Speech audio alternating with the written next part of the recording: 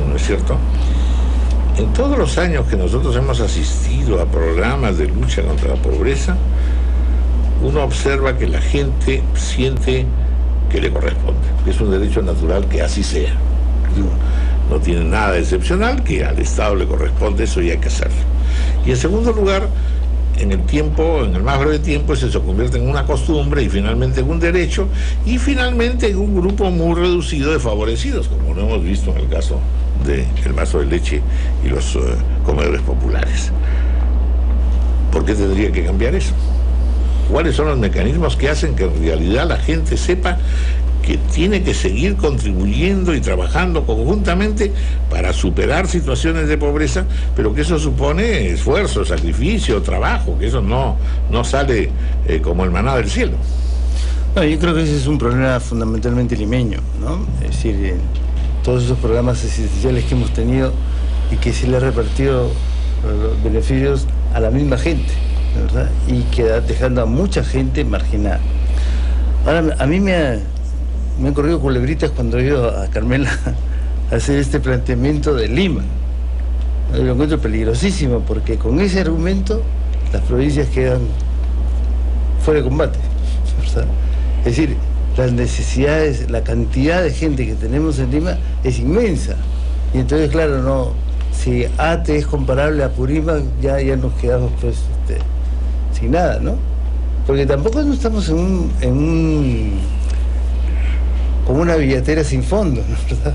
donde tenemos todo el dinero para dar a todo lo que necesitamos. Pero, perdón, lo que ha señalado el Premier es que cada programa va a actuar con lo que tiene presupuestado. Y en, ese sentido no se va a desviar fondos de Apurima para atender a Lima ni, ni nada por el estilo. Bueno, pero eso es en teoría. ¿Ya? Yo, por lo que conozco el Estado, por la falta de articulación que conozco en el Estado, Creo que esto es un proceso largo y ojalá dure las ganas de articular bien, ¿verdad? Porque cada uno de repente se, se lanza a pedir lo suyo y quiere que su ministerio es el que surja. Lo hemos visto nosotros con, la, experiencia del ministro Carranza, ¿verdad? Donde los otros ministros le pedían dinero, le pedían dinero y hablaban mal de él, ¿verdad? Porque no tenía dinero para todos.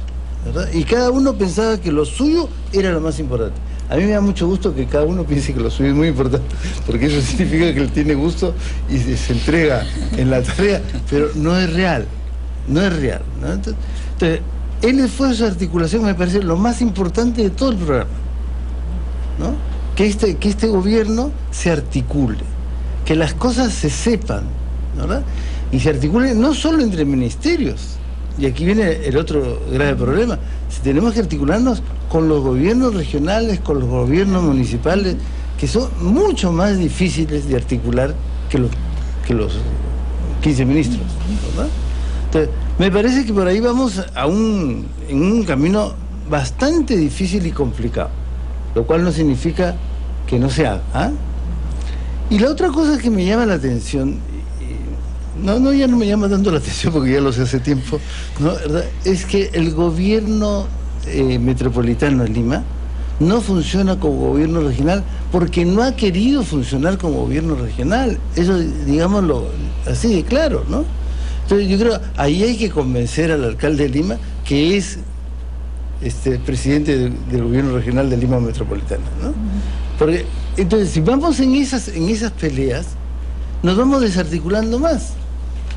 ¿Por qué en Lima no hay programas sociales? No es porque los ministros no quieran, verdad? Es porque no se han articulado con este, este, este gobierno regional que no funciona. ¿no? Funciona como municipio, pero no es lo mismo funcionar como municipio que funcionar como gobierno regional. ¿verdad? Creo que hay más implicancias que yo no las conozco, ¿no? Pero allí tenemos un problema bastante, bastante grave para la población de Lima. Que esta población es tan necesitada por el número de gente que hay. Yo conozco también, ¿verdad? Este, conozco la era de Chillón, entonces, toda esa zona donde hay una pobreza realmente inmensa. Pero es una pobreza con esperanza. ¿no? Cuando tú ves lo que es, yo te digo, para, Limbani, ¿no? Son lugares donde no pasa nada ni va a pasar nada. Eso es lo que la gente siente, ¿no verdad? Nosotros vivimos así y así nos quedamos, ¿verdad?